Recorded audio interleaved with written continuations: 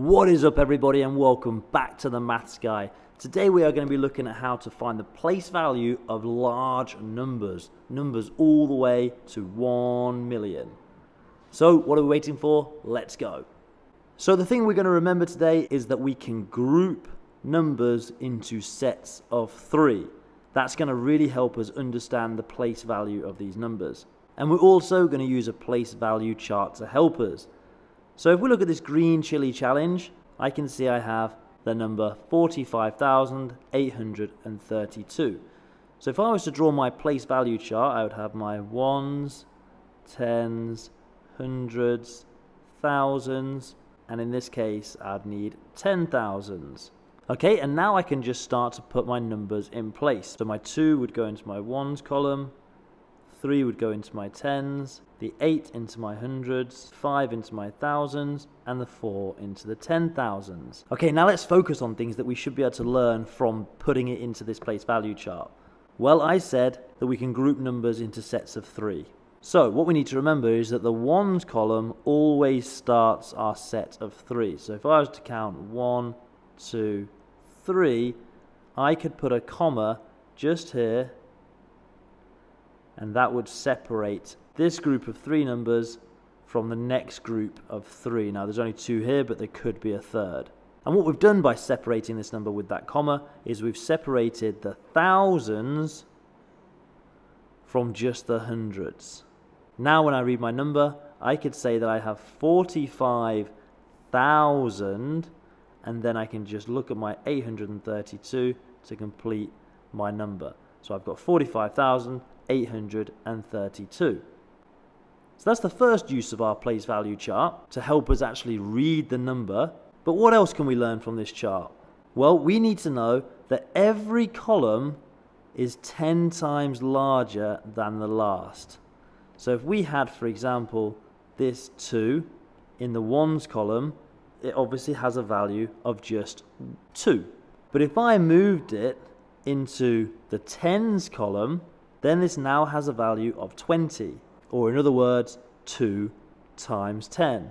Then if I moved it into the hundreds column, it would be another times 10, so therefore the 20 would become 200. So we need to know that everything in the column to the left is 10 times larger. Therefore, if we can think back to what we know about multiplication and division, if everything to the left is 10 times larger, what that means is that everything to the right must be 10 times smaller, or in other words, divided by 10.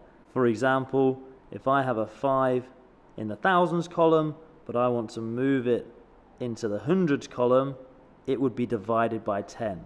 There was 5,000, now there's 500. 5,000 divided by 10 equals 500. And that's what the value of this 5 is in the hundreds column. Now let's have a look at this red chili challenge. And you'll notice I'm going to leave my comma in place because that's always going to be one, two, three places away from my ones. And therefore that comma will always live between the hundreds and the thousands. Okay, so now looking at the red chili challenge, we now need to start putting this number into our place value chart. I can see I have one, one, so the one will go into the ones column. I have two tens. I have nine hundreds, two thousands, eight ten thousands, and now we need another column. So if we had ten thousands here, and we know that the next column is 10 times larger, what is 10 times larger than 10,000? Well, 10 times larger than 10 would be 100. So it would be 100,000 in this column here. So the 9 would come all the way across into my 100,000 column. Now I have my number in place, I can use this comma that we now know lives here to help me understand and be able to say this number.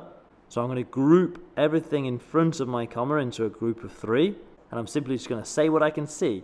I can see 982 and then because this is in the thousands block, I'm going to call it thousands. 982,000 and then my second block is 921. So I have 982,921.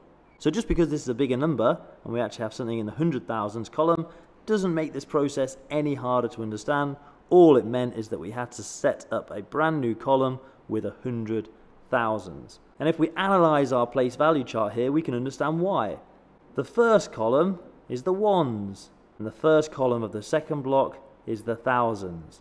And then the second column is tens, and the second column of the second block is ten thousands, because remember, this is the thousands block. Third column is hundreds, and therefore the third column of this thousands block would be hundred thousands. So hopefully we can see that relationship.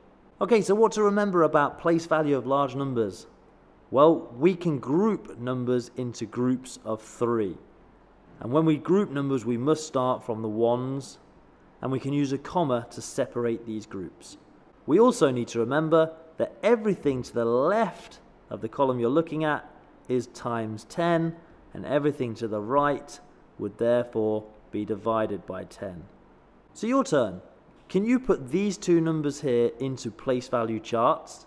Can you put the commas in the right place? And can you say this number?